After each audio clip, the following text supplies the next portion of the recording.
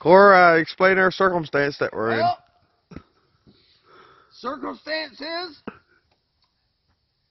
we come out the pond doing 140, 150 kilometers an hour.